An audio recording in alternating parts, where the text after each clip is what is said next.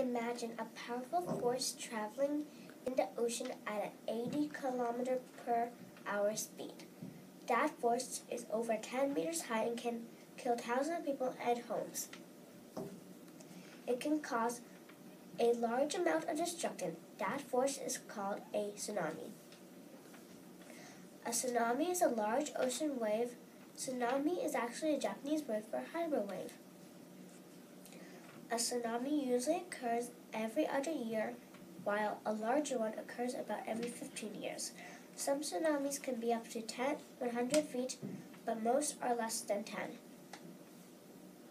A tsunami's speed is determined by water depth. For example, when the ocean is 15,000 feet deep, a tsunami travels 475 miles per hour.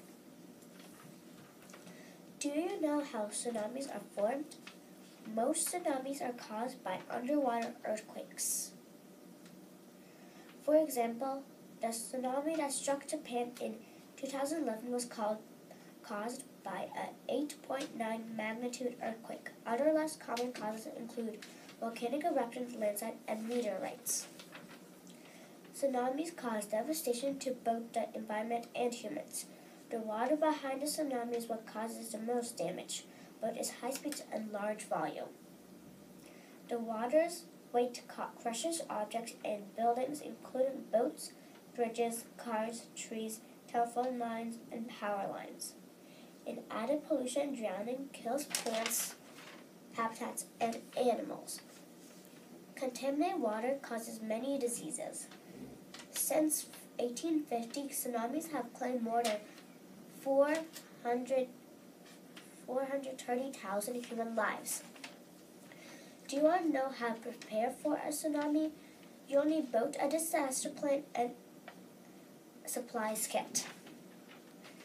In your kit, you'll need to put canned food, a can opener, bottles of water, a battery-operated radio, a flashlight, protective clothing, and written instructions that shows how to turn off electricity, gas, and water. Your disaster plan should have an evacuation route. You should go to a place that's higher elevation and further inland. I hope you learned lots of information about tsunamis and what causes them. You have learned about tsunami damage and how to stay safe. For more information, visit WeatherWizKids.com.